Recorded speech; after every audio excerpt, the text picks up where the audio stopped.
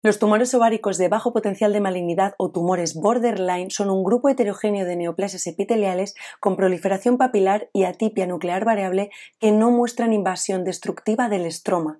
Van a tener un comportamiento de historia natural, factores pronósticos y respuesta a quimioterapia muy distinta al cáncer epitelial de ovario y en este vídeo vamos a hablar sobre ello.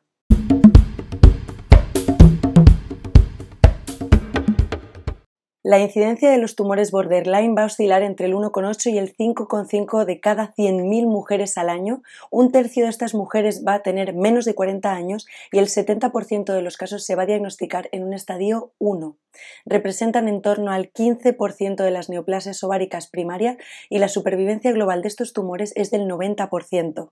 Dentro de los tipos de tumores borderline, los más frecuentes van a ser los serosos y los mucinosos, pero existen diferentes tipos de estirpes histológicas con rasgos clínicos diferenciados.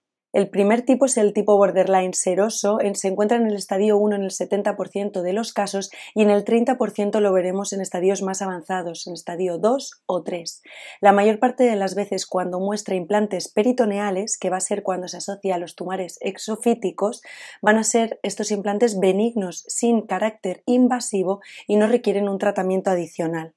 Sin embargo, sí que es cierto que el borderline seroso es un precursor del carcinoma seroso invasor de bajo grado de ovario, no del de alto grado que es el que era más frecuente. Aún así, la progresión a carcinoma seroso de bajo grado es muy rara y va a ocurrir en el 4 o 5% de los casos. También sabemos que cuando recidiva tras una cirugía conservadora lo suele hacer como borderline en el peritoneo. Tanto los tumores borderline serosos como los carcinomas serosos de bajo grado van a mostrar las mutaciones CARRAS y BRAF, mientras que los carcinomas de alto grado van a mostrar las mutaciones TP53 y BRCA12. El segundo tipo es borderline mucinoso de tipo endocervical o seromucinoso y son tumores que se asocian a endometriosis y suelen ser bilaterales. No se han descrito fallecimientos por esta causa. El tercer tipo es el borderline de tipo intestinal y son tumores benignos, pero suelen ser de gran tamaño y pueden contener focos ocultos de carcinoma intraepitelial o invasor. Los borderline mucinosos de tipo intestinal sí pueden recidivar como carcinomas mucinosos invasivos y como resultado de la progresión tumoral. Y el último tipo es el borderline de endometrioideo de células claras que se origina en focos de endometriosis. Aunque estos tumores son benignos por naturaleza, sí pueden acompañar o progresar a carcinoma, sobre todo los de células claras. En estos casos siempre va a ser preciso excluir la presencia de carcinoma invasor. Dentro de los factores pronósticos, el factor pronóstico más importante va a ser el estadio. La supervivencia a los 5 años también se va a ver influenciada por la enfermedad residual tras la cirugía. Cuando no hay enfermedad residual, la supervivencia va a ser del 75%. Cuando hay enfermedad residual de 1 o 2 centímetros, va a ser del 76%. Y cuando hay enfermedad de más de 2 centímetros, la supervivencia disminuye a 56% a los 5 años. La presencia de implantes peritoneales es un factor de riesgo independiente para la recidiva, sobre todo si estos implantes tienen un carácter invasivo. La supervivencia global, que es del 95% cuando los implantes no son invasivos, desciende al 33% cuando estos implantes peritoneales tienen componente infiltrante. Y en cuanto a la cirugía conservadora, aunque podría considerarse como elevador de la tasa de recidiva, no se ha visto que presente un impacto en la supervivencia global. Así, en los tumores borderline serosos se va a considerar el principal factor pronóstico la existencia de implantes peritoneales invasivos y secundariamente consideraremos los estadios avanzados 2 y 3, el crecimiento exofítico, la microinvasión o la histología micropapilar. En cuanto a los tumores mucinosos, se consideran influyentes en el pronóstico la necesidad de excluir focos ocultos de carcinoma intraepitelial o invasivo y considerar completar la cirugía tras finalizar el deseo genésico. En cuanto a la clínica, es muy parecida a la de las otras masas anexiales. A veces es muy inespecífica, en ocasiones es asintomática. Dentro de los síntomas más frecuentes pueden ser el dolor abdominal o pélvico o la sensación de presión y dispareunia. Cuando la paciente es asintomática, lo podemos sospechar cuando se trata de una paciente joven que presenta un quiste ovárico relativamente asintomático que presenta crecimiento papilar interno en la ecografía. Desgraciadamente no existen características ecográficas específicas de los tumores borderline que nos vayan a permitir diferenciarlos de tumores benignos o de tumores invasivos. El tumor borderline puede mostrar una imagen que varía desde un quiste unilocular a masas con componente sólido y líquido. Es cierto que las papilas sí suelen aparecer con frecuencia y el proceso diagnóstico que se va a realizar es muy similar al que se realiza en el cáncer de ovario, pero en este caso el papel de los marcadores tumorales no es de tanta utilidad. El marcador CA125 en la mitad de las pacientes no se va a elevar y en un 25% lo va a hacer, pero por debajo de 100. Si vemos un marcador CA125 muy elevado, debemos sospechar carcinoma de ovario. Y cuando estamos intraoperatoriamente, el tumor suele presentar excrecencias papilares en forma de coral o en forma de coliflor y muy raramente va a existir extensión peritoneal. De todas maneras, el diagnóstico definitivo se va a realizar tras el análisis histológico de la pieza. En cuanto al tratamiento quirúrgico, vamos a considerar a las pacientes que tienen deseo de gestación o preservación de la función ovárica de las que no lo tienen.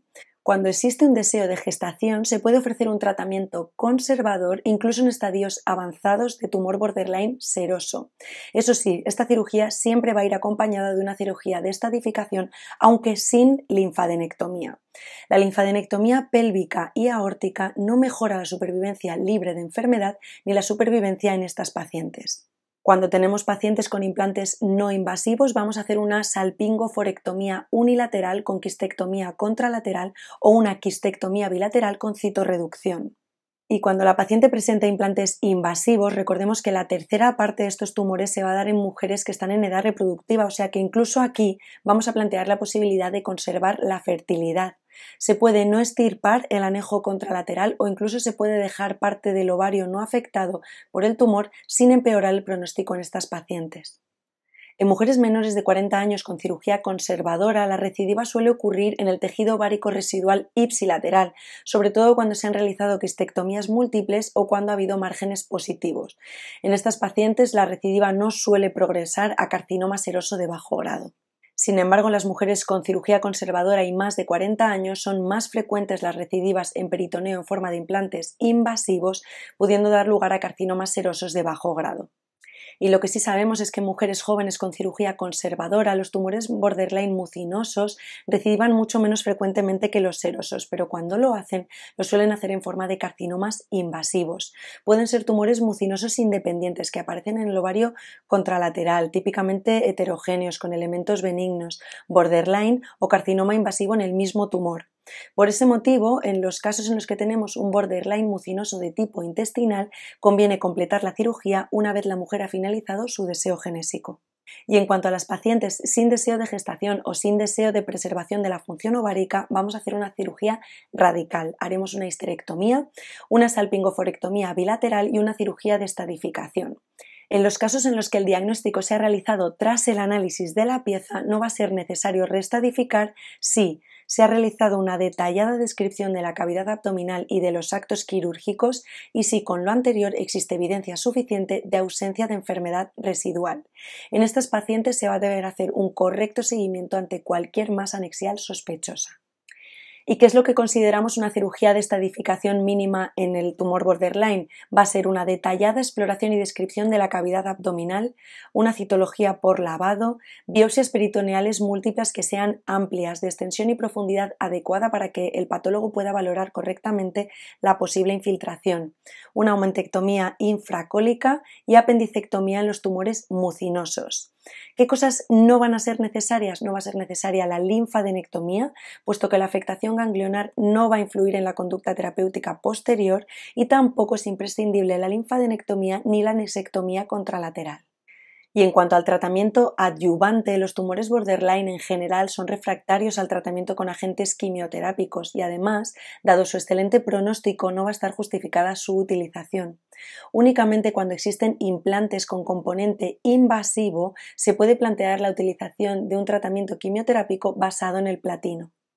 En el estadio 1 no va a ser necesaria la quimioterapia. Cuando las pacientes están correctamente diagnosticadas, la mortalidad sin quimioterapia es del 0,7% a los 5 años. Sin embargo, en el estadio 3 todavía existe controversia y algunos estudios concluyen en que no hay evidencia de que la terapia adyuvante mejore la supervivencia independientemente del estadio ni de la histología.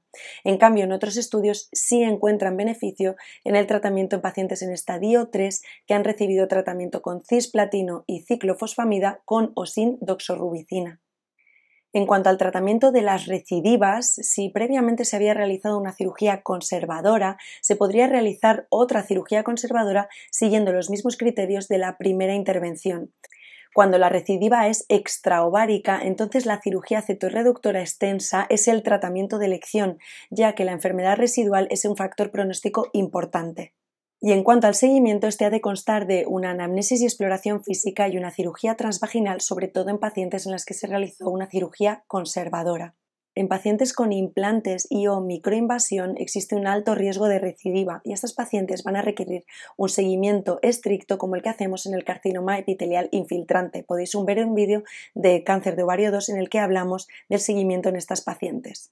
La periodicidad la haremos cada 3-6 meses los primeros dos años y cada 6 meses hasta cumplir 5 años. A partir de ahí podremos hacer controles anuales.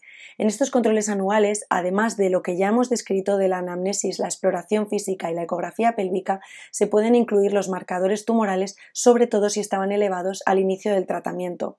El CA125 y el CA199 lo podemos pedir en los tumores de estirpe mucinosa. También haremos una analítica anual y un escáner o radiografía de toras dependiendo de la indicación clínica. En las pacientes que no te han tenido implantes o no han tenido microinvasión existe un muy bajo riesgo de recidiva y haremos un control semestral durante dos años y posteriormente un control anual. Eso es todo por hoy. Espero que os haya servido para aprender un poco más o entender un poco más los tumores de bajo potencial de malignidad o borderline de ovario. No olvidéis visitar la página web www.aulaginecología.com y suscribiros porque cada dos semanas os iremos enviando todas las novedades que publiquemos.